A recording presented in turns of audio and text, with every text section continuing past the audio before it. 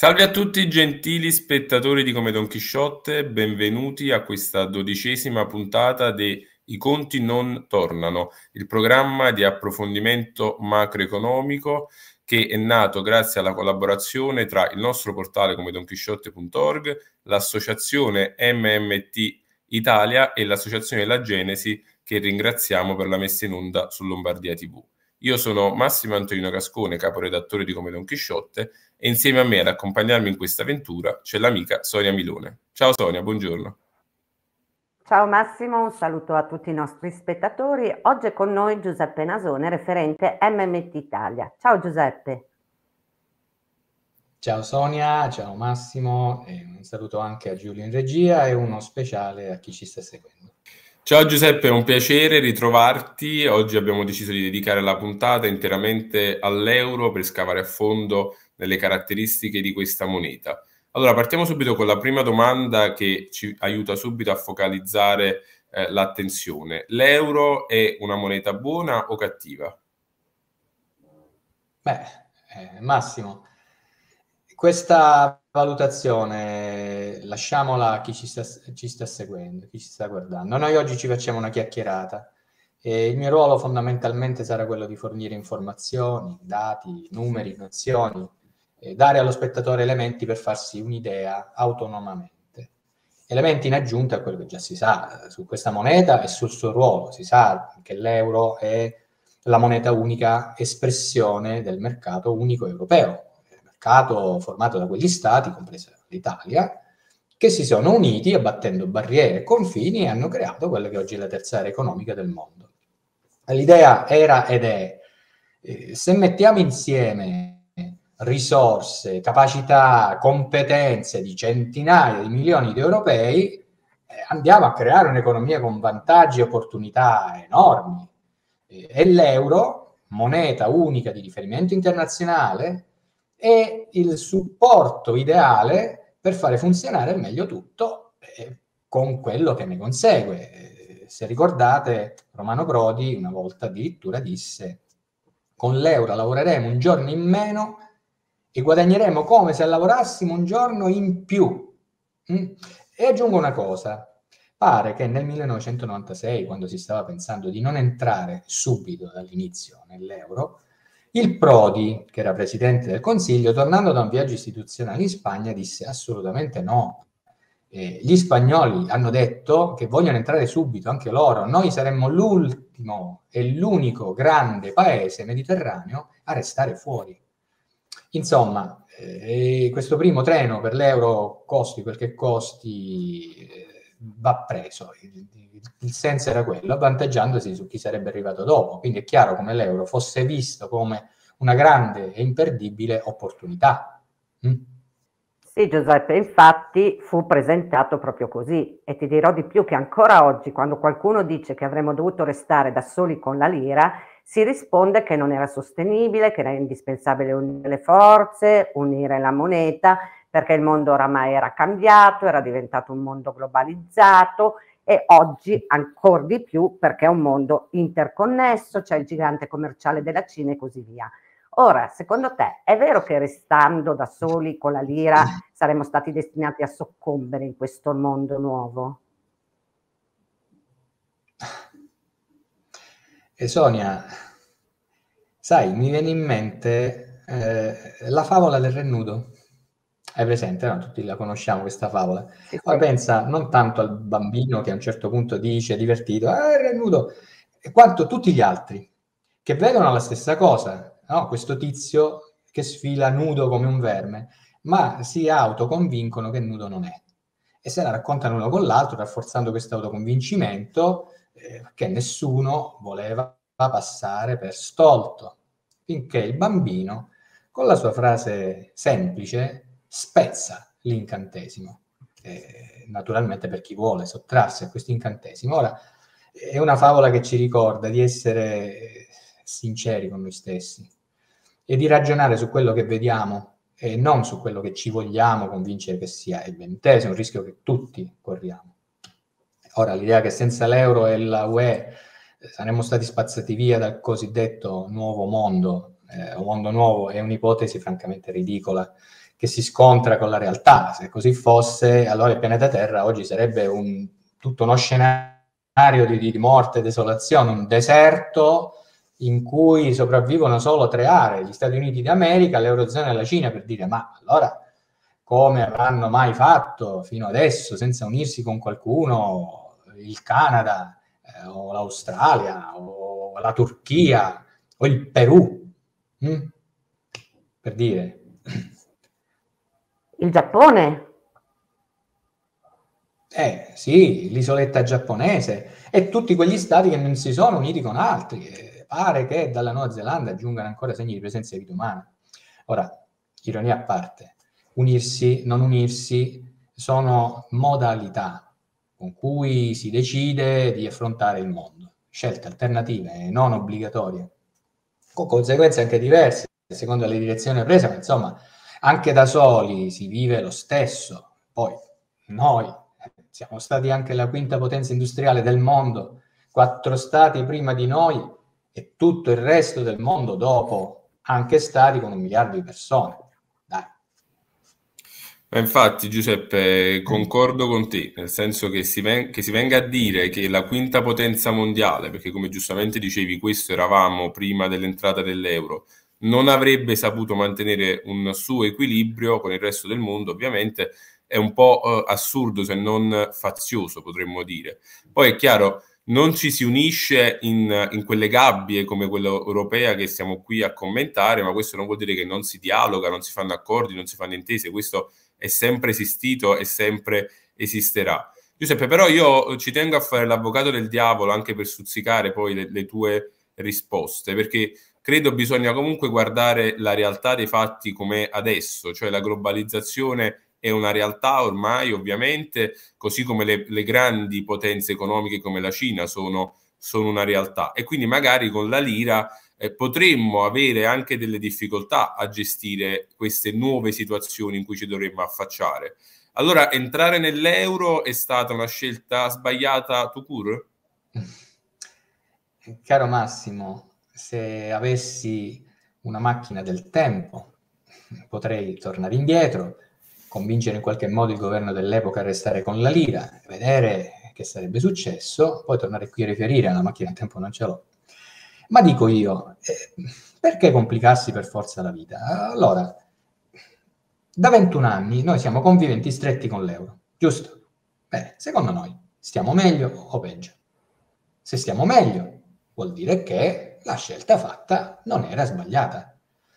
Se però stiamo peggio, allora è, è il caso di farsi due domande, darsi due risposte la lira per quasi 150 anni ha condiviso le nostre sorti, è stata coautrice delle nostre fortune. Eh, non la percepivamo assolutamente come una palla al piede, ci faceva stare bene, per quanto bene stavamo, e aggiungo, assolutamente non la usavamo al meglio. Poi ci è stato detto che era imminente la fine di tutto, l'apocalisse, che ci saremmo salvati soltanto facendo il salto nell'euro, presentato come un cavallo vincente, la soluzione dei nostri problemi, un cavallo su cui essere disposti a puntare tutto, tutto quanto. Le aspettative erano alte, come si diceva prima, lavorare di meno, guadagnare di più, praticamente quasi un paese di balocchi, no? Eh. Chiarissimo Giuseppe, però faccio l'avvocato del diavolo ora io. Se scoprissimo di stare peggio rispetto a quando avevamo la lira, chi ci dice che è proprio a causa dell'euro e non ad esempio di una nostra incapacità o di condizioni oggettivamente sfavorevoli? Perché dare sempre la colpa alla moneta unica quando le cose vanno male? Ma Sonia, io sono d'accordo con te. Eh, è bene, anzi, non avere nessuna impostazione a prioristica, sia nell'includere ma anche nell'escludere la causa monetaria. Hm?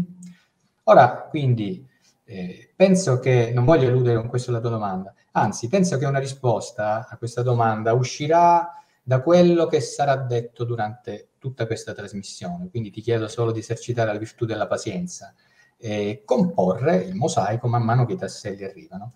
E subito un primo tassello, hm? va bene? Attenzione attenzione a sottovalutare la moneta in generale e attenzione a concepire la moneta euro una moneta e basta. Non è così. Non è così e in esso c'è molto più di quanto si vede. Per comprenderlo bene va ricordato mh, hm, che l'euro è parte integrante di un progetto e chiedo a Giulio di mandare la prima diapositiva.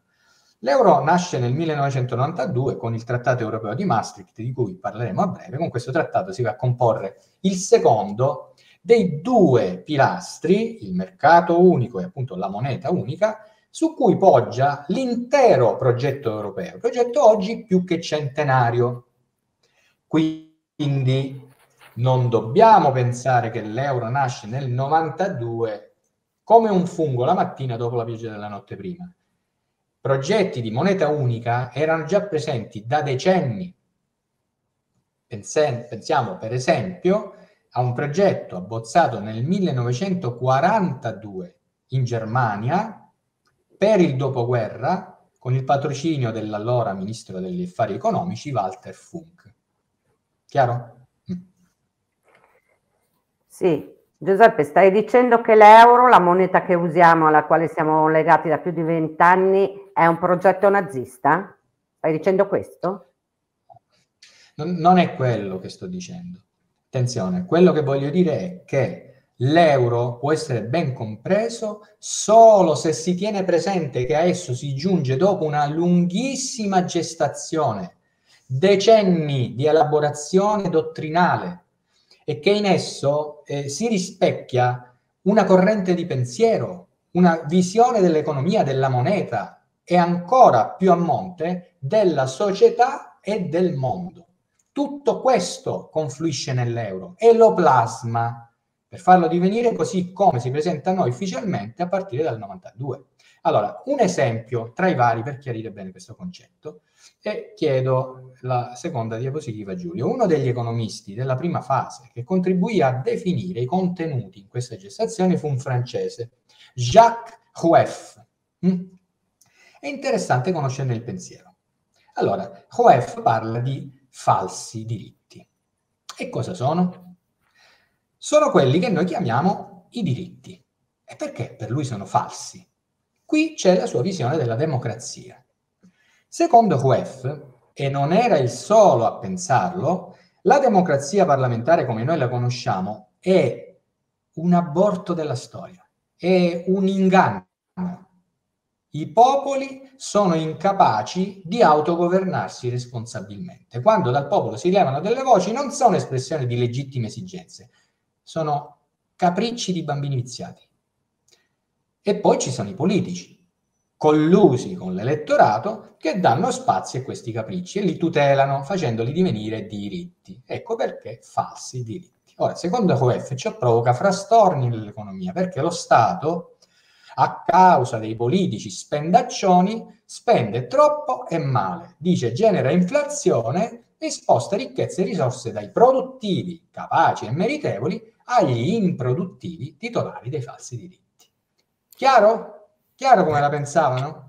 Chiarissimo, ma permettimi, è, è, ovvio che ognuno ha diritto ad avere la propria opinione, ma secondo me eh, questa opinione è veramente delirante, nel senso pensare ai diritti che sono delle conquiste sociali e di civiltà in questo modo eh, mi fa riflettere, mi fa riflettere anche abbastanza, nel senso che eh, da quello che ci stai raccontando, anche prendendo appunto spunto dalle dichiarazioni di questa persona, eh, l'euro si forma su una corrente di pensiero che è contraria alla democrazia e ai diritti. Quindi possiamo dire che è uno strumento che è stato strutturato per operare in un contesto antidemocratico, se non addirittura per aiutare l'eliminazione della democrazia.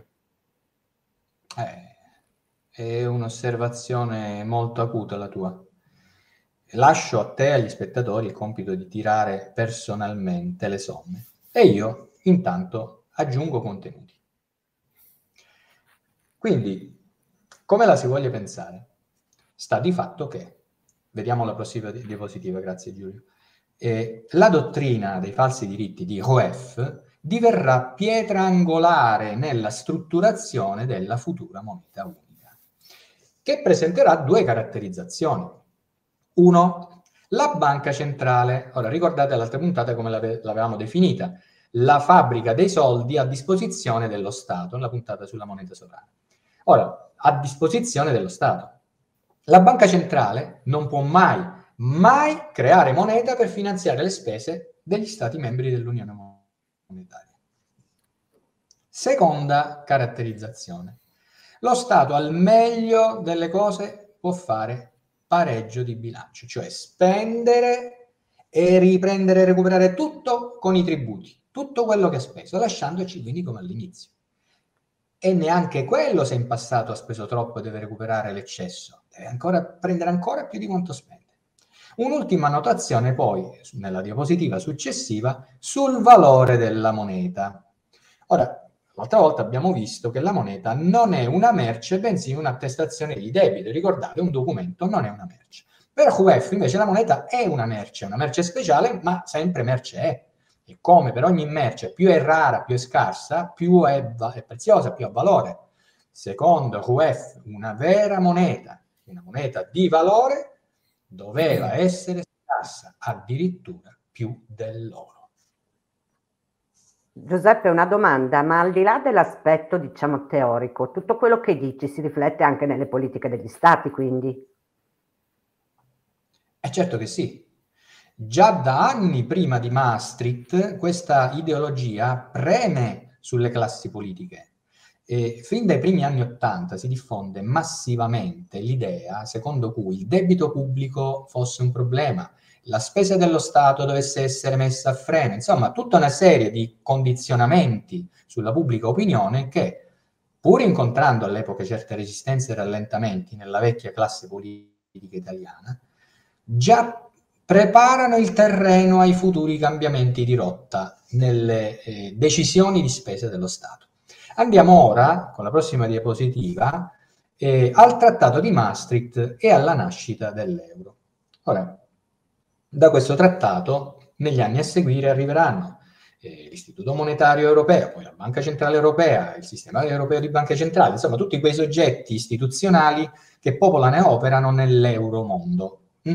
Nel trattato sono fissati i requisiti finanziari che gli stati dovranno possedere fin dal loro ingresso nell'Eurozona, perché secondo le convinzioni economiche del progetto europeo, sono quelle caratteristiche indice di stati quadrati ed economie nazionali solide e quindi adatti e meritevoli a essere beneficiati dall'uso di quella moneta. Allora, senza andare nel dettaglio, eh, tasso di interesse basso, inflazione bassa, rapporti debito pubblico-PIL e deficit pubblico-PIL bassi.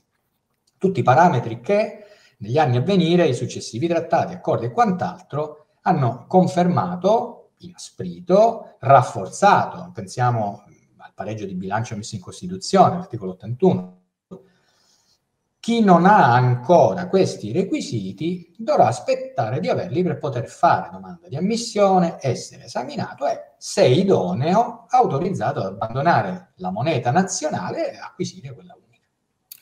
Giuseppe, Chiaro? Come no, come no, anzi, grazie mille per la, per la chiarezza. Però a questo punto eh, direi di fare anche una comparazione perché noi abbiamo visto nel corso della storia dell'Unione Europea che comunque non tutti gli stati hanno adottato l'euro anche facendo parte del, dell'Unione e chiaramente l'esempio principale è rappresentato dalla Gran Bretagna che era nell'Unione, perché ricordiamo poi con la Brexit è, è uscita, era nell'Unione ma aveva la sua moneta, la sterlina.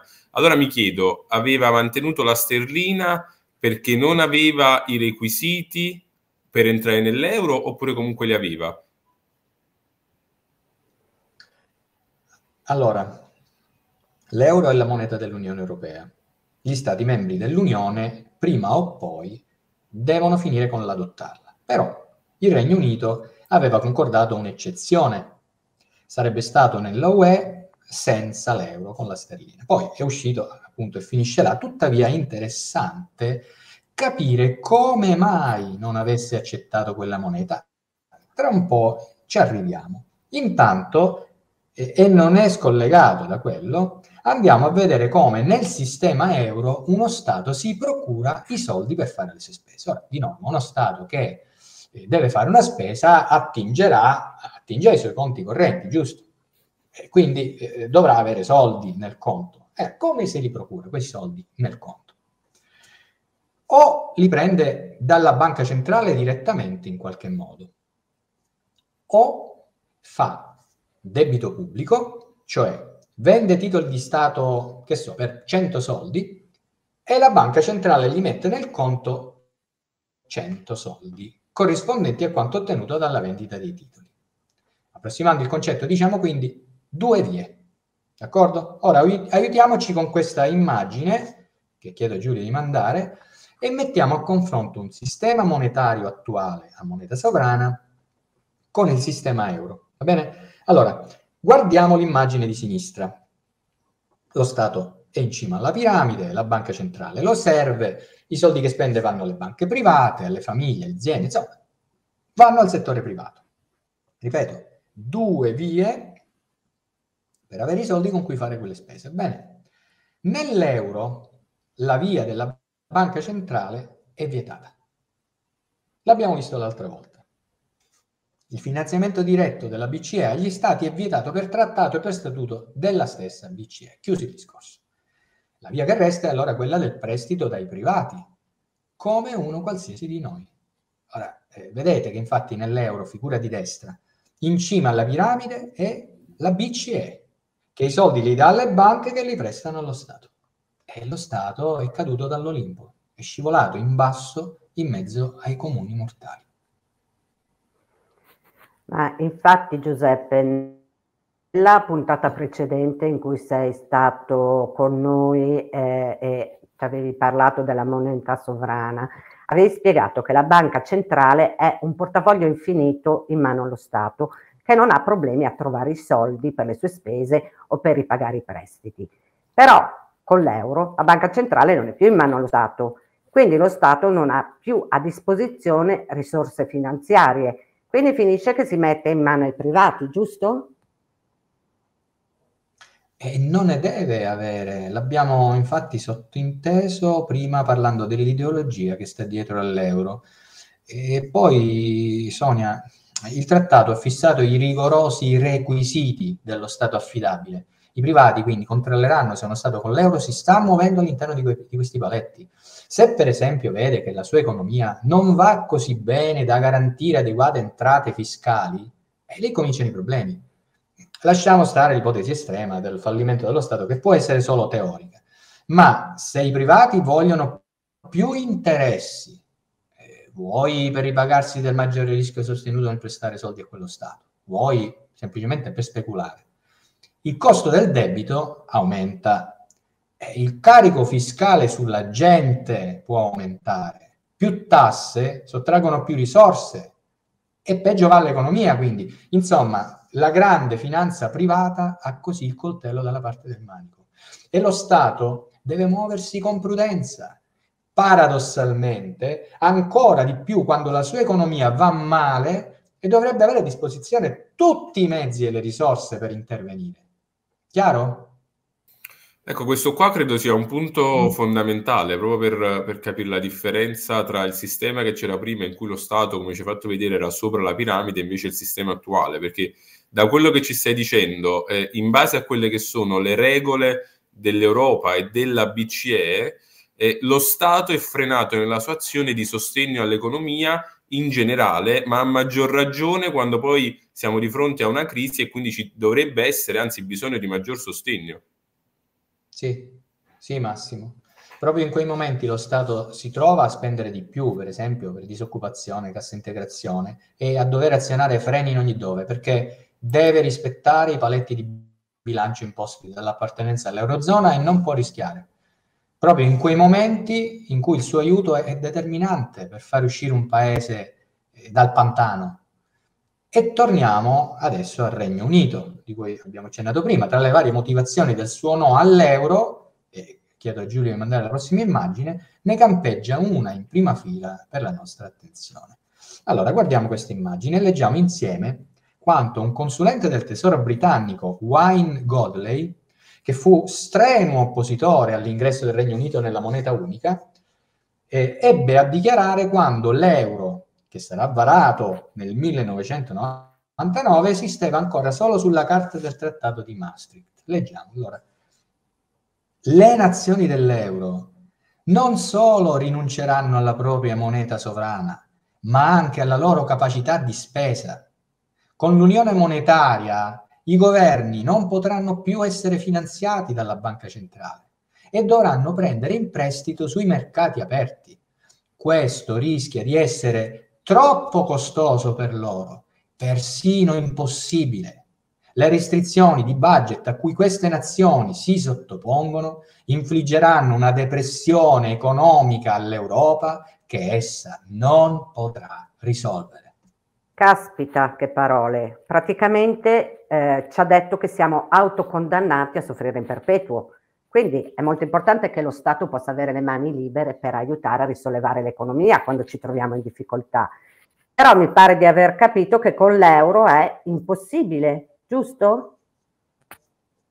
Eh, eh, lo Stato con l'euro deve fare molte acrobazie per aiutare e comunque difficilmente quanto servirebbe. Se servono 10 soldi, darà quello che può, magari 6, 7 e gli anni dopo probabilmente andrà a recuperare aumentando le tasse. Eh, sono i parametri di bilancio di Maastricht che dettano legge, dicono fondamentalmente lo Stato non può spendere senza recuperare indietro e come nel caso dell'Italia, che aveva un debito pubblico più importante di altri, deve spendere ancora meno e recuperare ancora di più, perché ha obiettivi di deficit e di debito rigidi e duri da rispettare. Eh, mi rifaccio a quanto si diceva prima eh, sulle pressioni e condizionamenti delle idee dell'isteria da debito, da deficit, eh, fin dagli anni Ottanta. Ora, come visto, nel 92 arriva Maastricht e da lì ci si prepara al nuovo avvento, no? già da allora, cambiando comportamenti, cambiando decisioni di spesa, uniformandosi sempre più intimamente con quelle idee già presenti da un decennio. Guardiamo un, eh, un grafico e mentre Giulio lo passa noi lo spieghiamo. Mm?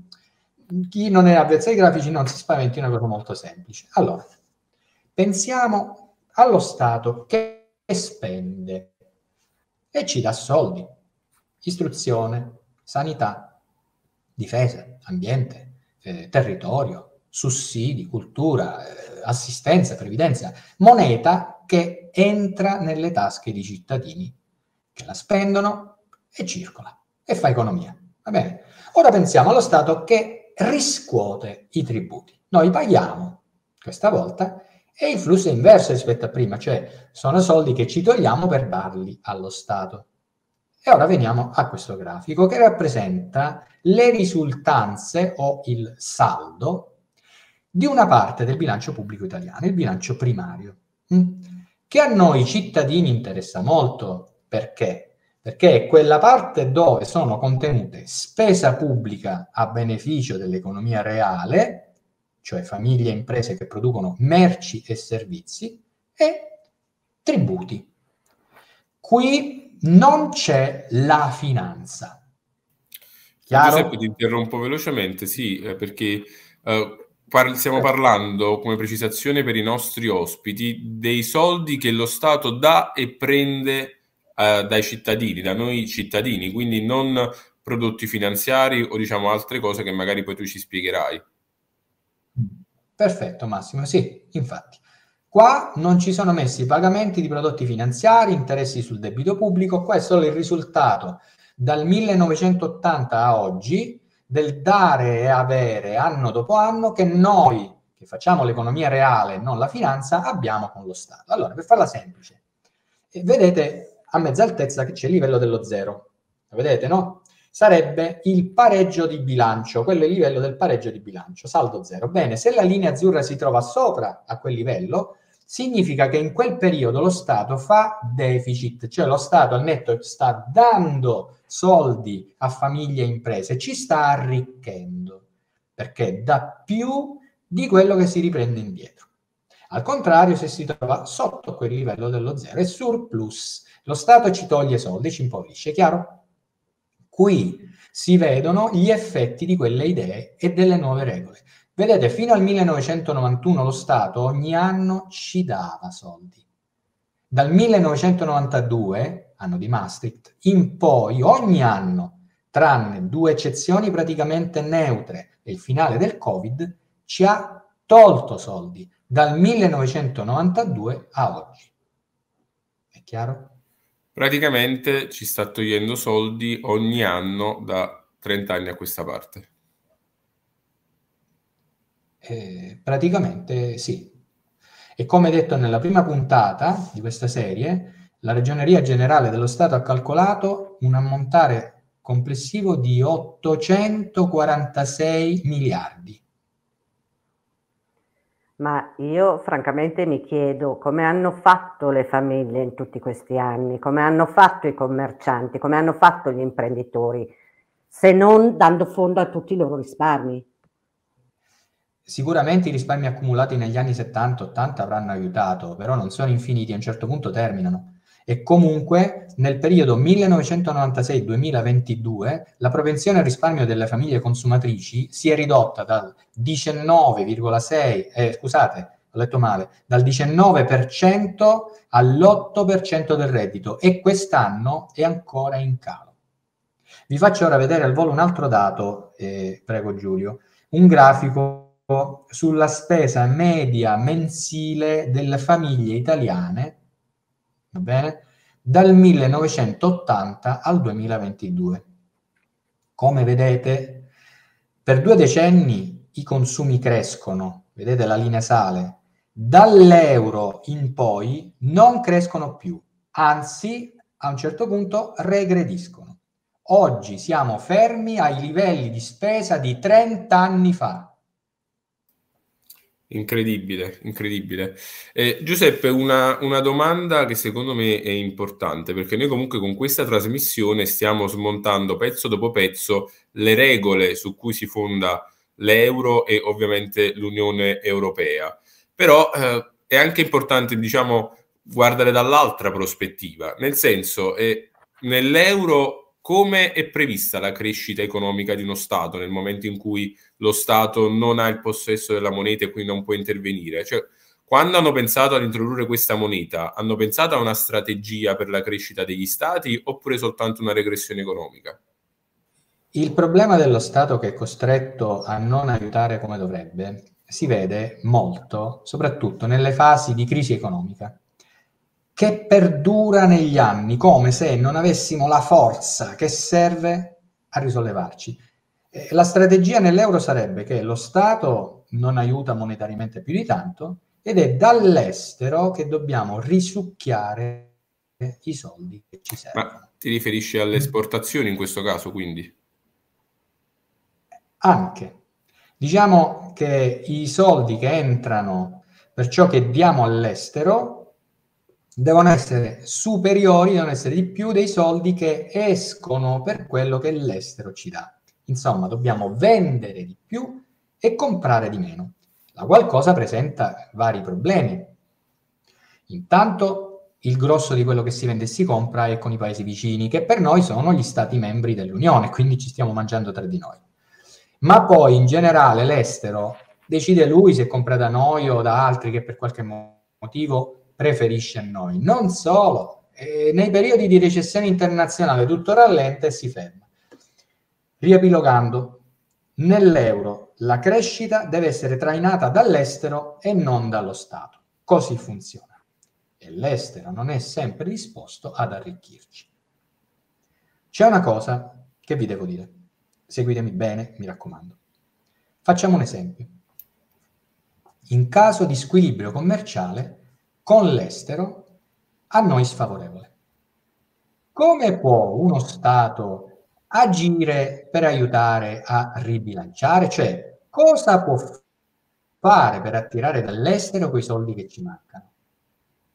Le opzioni in teoria sono varie, ma nell'euro sono tutte o interdette o non possibili. Tasso di cambio, tasso di interesse, eccetera, eccetera. Tranne l'unica via disponibile, l'unica, comprimere la domanda interna. Che vuol dire? comprimere la domanda interna vuol dire fare in modo da ridurre la richiesta di beni e servizi della popolazione, da parte della popolazione, così le importazioni diminuiscono, quindi diminuiscono le uscite di soldi e i nostri venditori che non vendono come prima in Italia si rivolgono oltre confine, aumentano le esportazioni, quindi i soldi in entrata dall'estero. Ora, sapete come si fa a comprimere la domanda interna? Come si fa secondo voi a convincere famiglie e imprese italiane a comprare di meno? Non li si convince, li si lascia con meno soldi e gli acquisti diminuiscono. In un'intervista televisiva alla CNN nel 2013, hm, l'allora Presidente del Consiglio Mario Monti dichiarò in risposta a una domanda del giornalista quanto vi vado a leggere.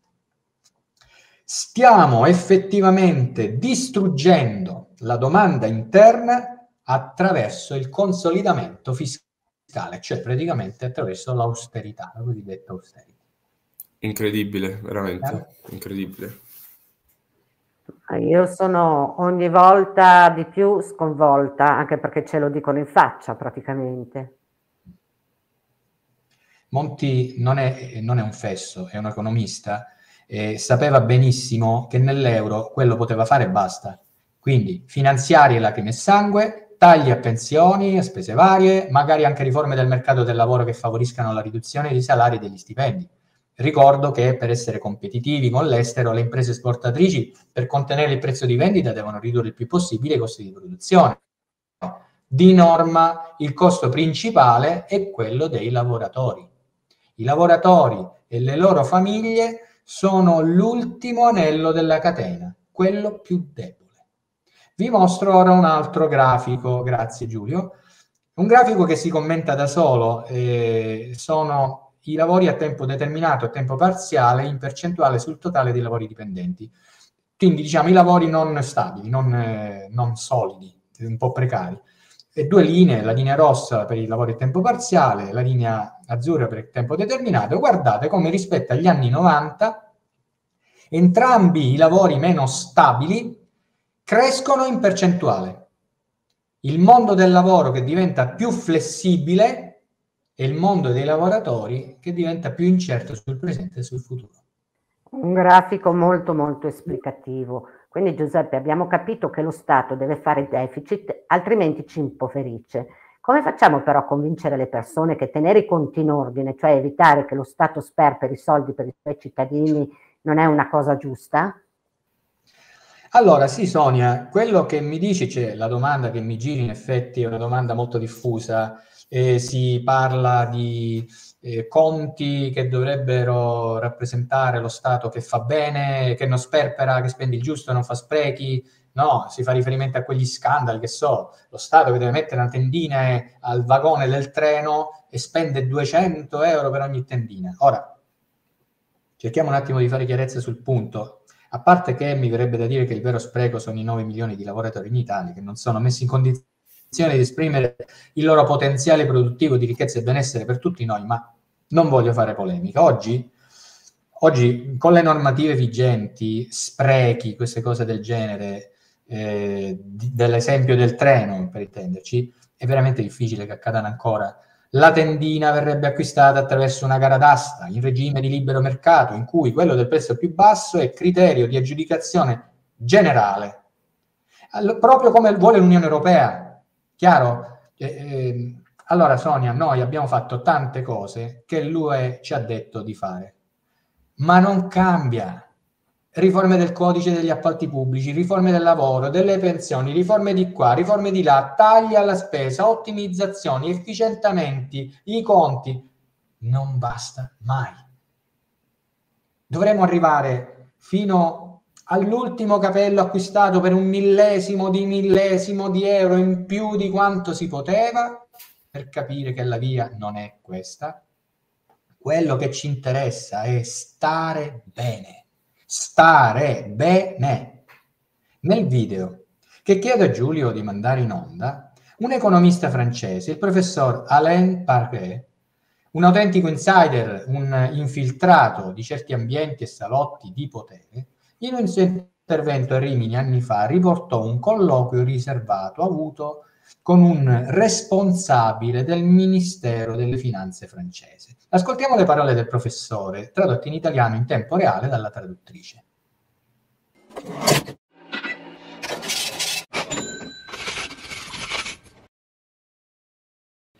Comincerò la mia presentazione vera e propria con una citazione. Citazione del responsabile del Ministero delle Finanze francese. Fra l'altro appartiene all'ordine dei Benedettini, è un monaco ed è anche il capo dell'Opus Dei francese. Ho, par- ho, parlato con lui di questa questione e mi ha detto sì, l'economia francese è morta, ma non è abbastanza. Mi ha detto, professore, lei deve capire perché il esiste il sistema europeo. Che cosa vogliamo? Vogliamo distruggere per sempre la gente. Vogliamo creare una nuova tipologia di europeo una nuova popolazione europea disponibile ad accettare la sofferenza, la povertà, una popolazione disposta ad accettare salari inferiori a quelli cinesi. L'idea riportata dal professor Parguet sulla popolazione europea rappresenta un concetto più volte espresso in questi anni, magari con parole diverse, ma siamo là. Per esempio, l'ex ministro Padova Schioppa ebbe a dichiarare, leggo, nell'Europa continentale un programma completo di riforme strutturali deve oggi spaziare nei campi delle pensioni, della sanità, del mercato del lavoro, della scuola e in altri ancora, ma deve essere guidato da un unico principio, attenuare quel diaframma di protezioni che nel corso del XX secolo hanno progressivamente allontanato l'individuo dal contatto diretto con la durezza del vivere, con i rovesci della fortuna, con la sanzione o il premio ai suoi difetti o qualità. Chiaro? La durezza del vivere. Ora pensiamo eh, a Pietro Mennea, va bene? Uno che la durezza del vivere la conosceva, per diventare il Mennea che sappiamo, si è portato al limite della resistenza umana e l'ha spostato in avanti. Ma se avesse corso alle sue gare con la testa ficcata in una busta di plastica senza poter respirare, avrebbe corso per come poteva? Pensiamo anche eh, a Carla Fracci, un'altra che è la durezza del vivere, una volta in un'intervista le fu chiesto come si fa a diventare Carla Fracci e le rispose semplicemente allenarsi per otto ore al giorno, tutti i giorni, per vent'anni. Ma se fosse salita sul palco con due cavigliere di 5 kg l'una alle caviglie, e avrebbe potuto danzare il lago dei cigni con la leggerezza e la grazia sublimi che sapeva, che sapeva esprimere. Guardiamo ora questo grafico, grazie Giulio. Povertà in Italia, in aumento, anno dopo anno. Oggi 5 milioni di famiglie povere, la durezza del vivere. Infine, quest'altro grafico, eh, grazie Giulio, tasso di crescita paesi del mondo è un grafico tratto dai dati già mostrati dal nostro presidente Filippo Abate nella prima puntata di questa serie. Eh, si commenta da solo i paesi dell'Eurozona, il quadratino piccolino a destra, il più piccolo, e crescono meno degli altri. Perché? Cause internazionali non possono essere perché colpirebbero tutti gli stati e non alcuni. Allora deve essere qualcosa in comune solo a quegli stati. E che cosa? A me ne viene in mente una sola e secondo me oggi ne abbiamo parlato un po'. Dopo tante domande fatte a me, e vi ringrazio, permettetemi di farne una io, a voi e agli spettatori. Hm? Cosa dire allora? Il re è nudo. Eh beh, direi proprio di sì. Che dici, Sonia? Assolutamente sì, molto nudo. E lo spettacolo non ci piace. Assolutamente. bene, bene, siamo arrivati alla fine di, di, questa splendida puntata. Giuseppe, ti ringrazio del, delle tue spiegazioni e del tuo intervento qui oggi. Grazie, Grazie a voi. Allora, prima di salutarvi, eh, vi ricordo che tutte le puntate sono visibili ovviamente su Lombardia TV, ma anche in differita sui canali YouTube e Rumble di Come Don Chisciotte e sul sito di MMT Italia. Inoltre, se avete dei dubbi o delle domande sugli argomenti che stiamo trattando, l'ultima puntata di questa serie, la puntata 15, sarà dedicata appunto ai dubbi dei nostri spettatori e alle risposte fornite dagli esperti eh, di economia della MMT. Quindi potete scrivere una mail a mmtitalia-mmmtitalia.info. Un saluto a tutti i nostri spettatori, ci vediamo sabato prossimo alle due e mezza.